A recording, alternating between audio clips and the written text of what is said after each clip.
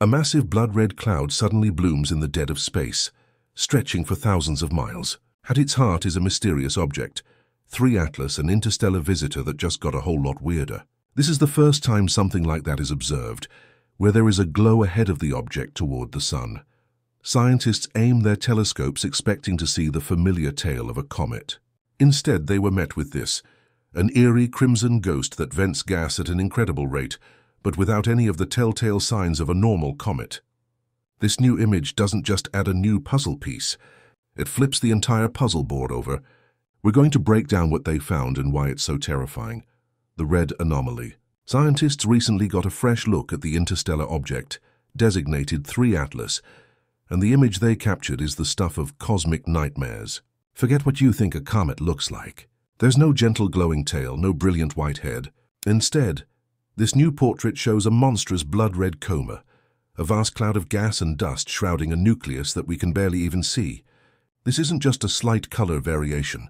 We're talking about a deep, unsettling crimson that astronomers have rarely, if ever, seen on this scale. The coma is immense, stretching out over 90,000 kilometers from end to end. To put that in perspective, you could fit more than 10 planet Earths inside this ghostly red halo. But you see, it's not just the color that's causing scientists to lose sleep. The thing nobody tells you is what this cloud is made of. Spectrographic analysis, which is like a chemical fingerprint for light, delivered a result that was a complete shocker. The cloud is composed almost entirely of carbon dioxide, not the typical mix of water, ice, dust and other frozen gases you'd expect from a comet, but a nearly pure CO2 emission. It's venting this gas at a truly staggering rate, 70 kilos or about 54 tons every single second. That's like an industrial factory smokestack, pumping out invisible gas in the vacuum of space. An object venting that much material should be one of the brightest things in the sky. It should have a magnificent tail pushed back by the solar wind, stretching for millions of miles. But 3 Atlas has no visible tail, none. It's like seeing a massive fire with no smoke. This fact alone breaks all the conventional models of cometary physics. Comets sublimate, meaning their ice turns directly into gas when heated by the sun. And it's this process that creates both the coma and the tail. 3 Atlas is performing the first part of the act with incredible gusto, but seems to be completely ignoring the grand finale. The gas is just appearing and then lingering in this horrifying red cloud. It's a cosmic magic trick without a magician, and it's happening on a scale that is hard to comprehend. Many people are crazy about what this means for other objects lurking out there. To make things even stranger, the core of this object, the nucleus, is a complete enigma. For a long time, based on its faintness, astronomers assumed it was relatively small, maybe a few miles across. But not all things are what they seem. New data crunched from observations by NASA's SPHEREX telescope has suggested something far more massive. The latest estimates put the nucleus at a potential 46 kilometer, or about 28 miles. This isn't a space rock. It's a small world. An object that large, composed of what they assume must be frozen CO2 and other volatiles, should be lighting up like a Christmas tree as it gets closer to our sun. Yet it remains stubbornly faint, shrouded in its own bizarre, bloody fog. It's too big, too red, and too weird to be a simple comet. So scientists are left with an image that makes no sense and a list of contradictions that grows longer with every observation. They have a picture of something that is simultaneously hyperactive and mysteriously inert. It's rewriting the rules in real time, forcing a complete re-evaluation of what an interstellar visitor can be.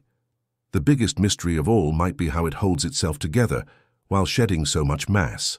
But that question is just the tip of the iceberg, not the comet we were promised. Before this object became a cosmic headache, it was a source of incredible excitement.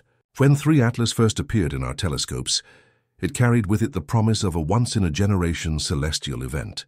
You see, this wanderer was detected while it was still incredibly far out beyond the orbit of Saturn. Yet even at that immense distance it was already starting to brighten.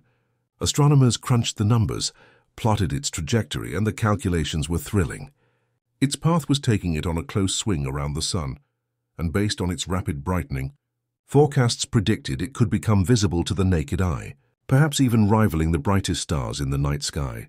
The hype machine went into overdrive. It was dubbed the potential comet of the century. People all over the world were getting ready for a spectacular show. But the universe, it seems, had other plans. As 3 Atlas continued its journey inward, it started to behave erratically. The predictable steady brightening that astronomers had banked on began to stutter. It would flare up unexpectedly, then dim just as quickly. The color and shape of its coma seemed to shift. It was like watching a performer who couldn't decide on their act. The thing nobody tells you is that this kind of inconsistency is a red flag for comet specialists. It suggests structural instability, a sign that the object might not be able to handle the increasing heat and gravitational forces of the inner solar system. Then the betrayal came. Instead of blossoming into a magnificent spectacle, 3 Atlas simply fell apart, or so we thought. Observations showed the single point of light, fracturing into several smaller pieces. The great comet of the century had disintegrated before it even got to the main event. For the general public, the story was over. The show was cancelled, but for a handful of dedicated researchers, the real mystery was just beginning, because even as it broke apart, the object refused to follow the script. The fragments didn't dissipate as expected. Instead, they continued to travel together in a tight, ghostly procession, each piece now sprouting its own miniature bizarre coma. This is where the timeline gets a little fuzzy and frankly a bit suspicious. The initial images of the breakup and the strange behavior were studied, but the full shocking details including the data about the massive carbon dioxide cloud, weren't immediately released to the wider public. There was a delay. Now, in the world of science, data is often reviewed and verified before publication, which is standard procedure. But the delay for 3 Atlas felt different, raising questions among a small but very vocal minority of researchers. What did the initial data show that required such a long period of analysis? Was there something in those early readings that was so unbelievable it was initially dismissed as an error. This period of silence only deepened the enigma. When the new data was finally published alongside the now infamous red coma image, it recontextualized everything. This wasn't just a comet that broke up. This was a profoundly strange object that underwent some kind of bizarre transformation, and we only got the full story much later. The promise of a beautiful, predictable celestial event was replaced by a messy, inexplicable, and far more interesting cosmic puzzle. It was never a normal comet.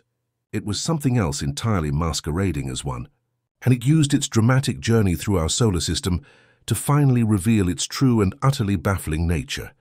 Its strange composition was only the beginning of the puzzle.